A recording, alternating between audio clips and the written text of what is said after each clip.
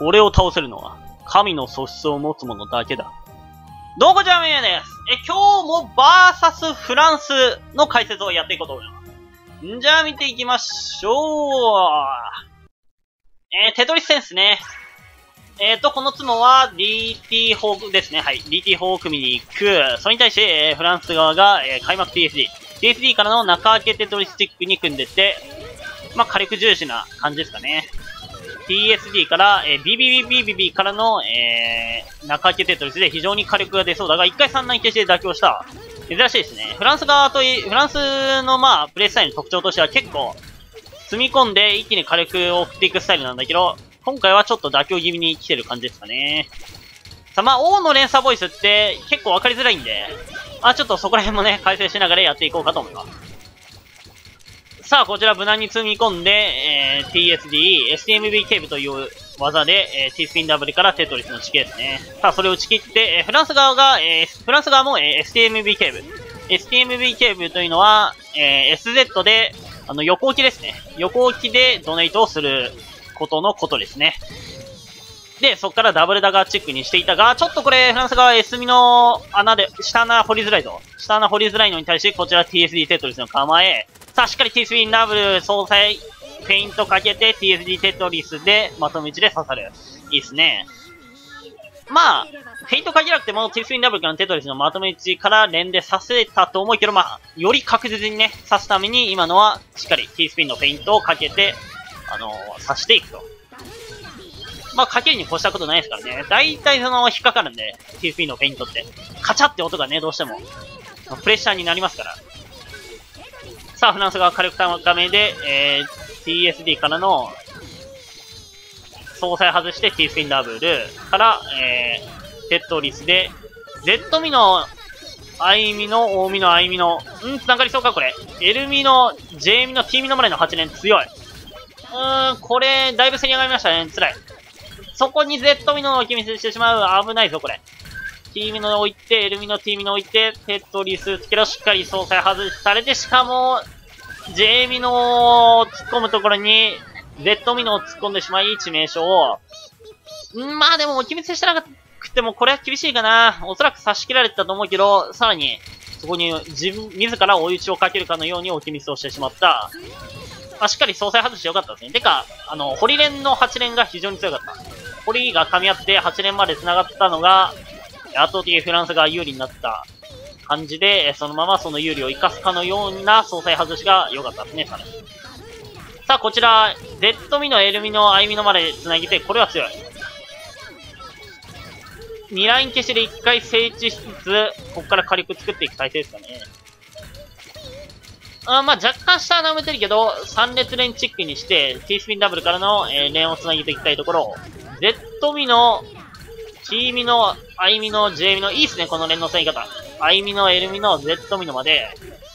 今の T ミのの横置きの連の繋ぎ方は良かったと思いますね。結構、意外にあの、T ミノの横置きの連の繋ぎ方って難しいんで、どうしても T ってその、縦置きか、あの、T スピンか、T スピンの形の、えー、堀のルートか、しか見えないと思うんだけど、ああいうね、あの、繋ぎ方もあるって。さあ、ここ重要。今の T スピンダブルの形になってたんだけど、えー、T スピントリプルにすることによって TD アタックというテンプレが完成します。あ結構ね、あそこどうしても TSD で打っちゃう人も多いんだけど、あそこはやっぱり T スピントリプルにすることによって、さらに T スピンダブルと、非常に火力の高い TD アタックというテンプレが完成しますから、ああいうとこ見れるようになると、さらにいいですね。さあ、ビビビビビビビビビビビビビえー、っと、2ライン、2ライン攻撃、2ライン攻撃、じゃない、3ライン攻撃、3ライン攻撃、えー、5ライン攻撃かな。ちょっと王の連鎖ボイスはやっぱり分かりにくいですね。業種がちょっとまだ、あんまりできない人には結構有効なキャラだとは思うんだよね、やっぱりね。さあ、ビビビビ、ビビビビ、えー、4ライン攻撃かな。さあ、TST が火力高くて刺さっていく。えーっと、これはやっぱり TST が火力高かったな、今の、単純に。その後の、えー、S ミの突っ込んで T スピンダブルも確保してあったんで、総裁も外せる地形で、外してさらに、T スピンダブルからのま連の発火でかなり勝ちが濃厚だったけど、えー、その前に、えー、TST で刺さりましたね。あやっぱり TST 強いな。火力、火力高いんですよね。あのー、対戦してるとわかるけど。そう、中盤でその T スピントリプル。まあ、テンプレの T スピントリプルはみんなその慣れてると思うから、普通だと思うんだけど、途中で TST っていうのは予想以上な火力が来るんで、だいぶプレッシャーかかるんですよね、相手に。こちらもやはり、その、もちろん T スピンダブルと比べると地形がちょっと悪くなりやすいっていう、まあ、デメリットもあるんで、まあ、そこのリスク、リターンもしっかり考えないとダメだけど、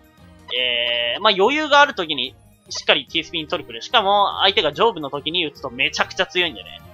結構焦り、本当にプレッシャーになるんでね。T スピントリプルも割としっかり積極的に狙うのもありだと思います、じゃあもう一つ見ていきましょう。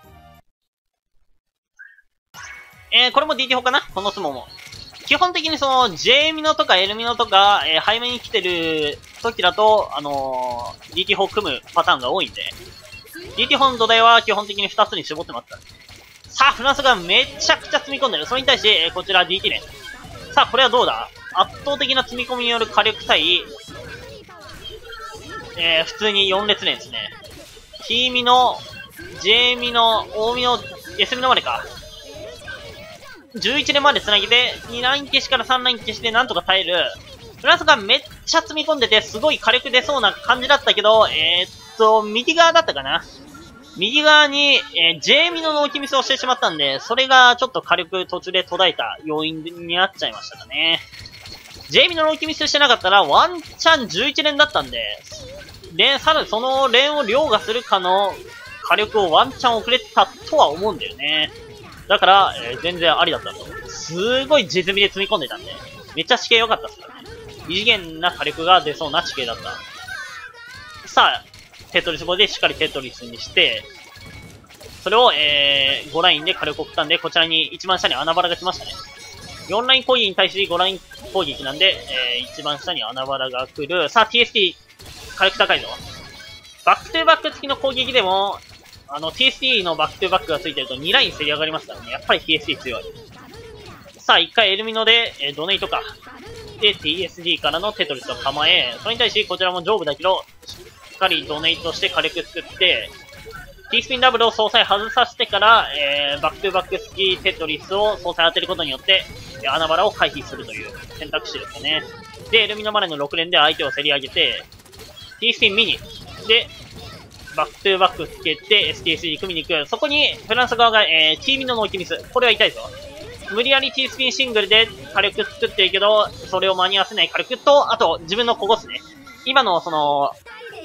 端っこに3ラインある場合って、えー、どうしてもその、アイミノを置いてから、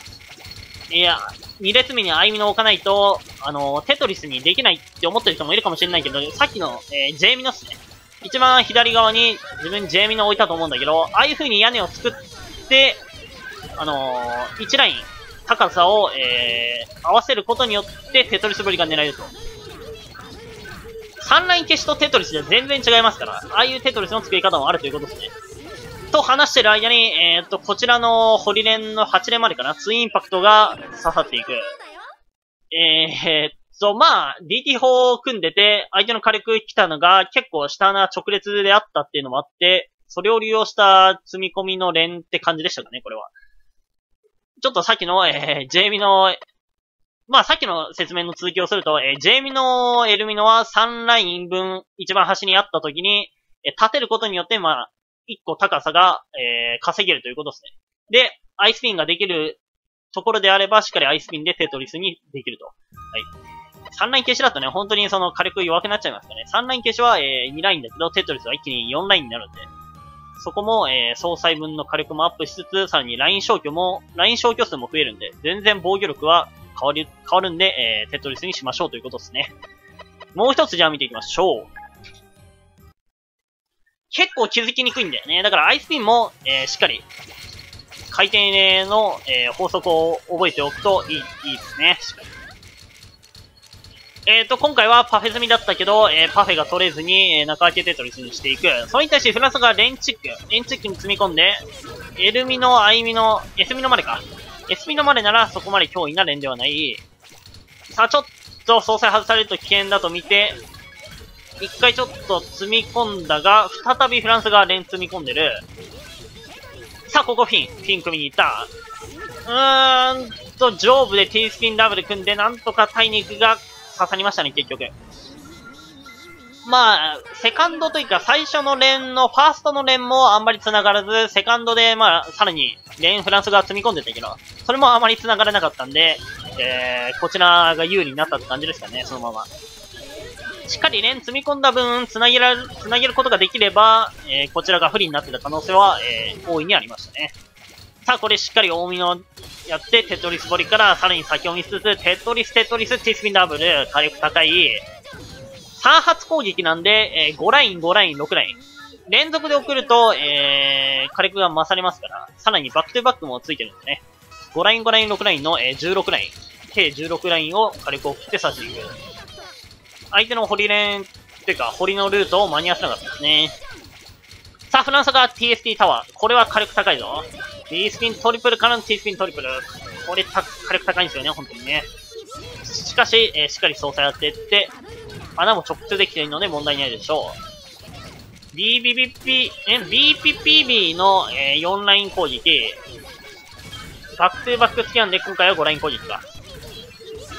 さあ、4連止まり。S ミノを気ミスしたいけど、えー、しっかり T ミノで先を見つつ、テトリスから T スピンダブルか。それに対し、えー、こちらは T スピンシングルから、アイミの横置きで、えー、ラインを揃えて、TSD テトリスの地形。これは強い。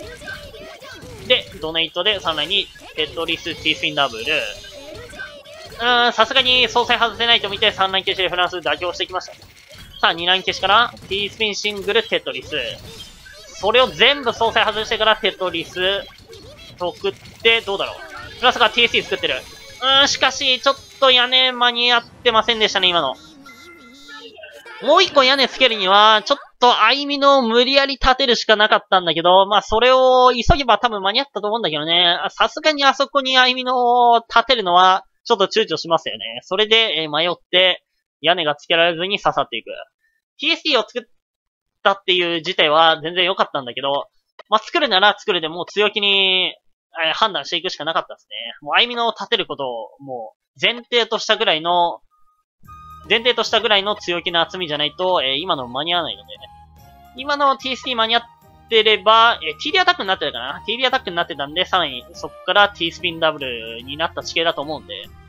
全然耐えれたし、えー、ワンチャン積み込んでからの、えー、TSD からの、えー、レンチックで掘りに行けば、有利になった可能性もあったんじゃないかな。なんで、あのー、まあ、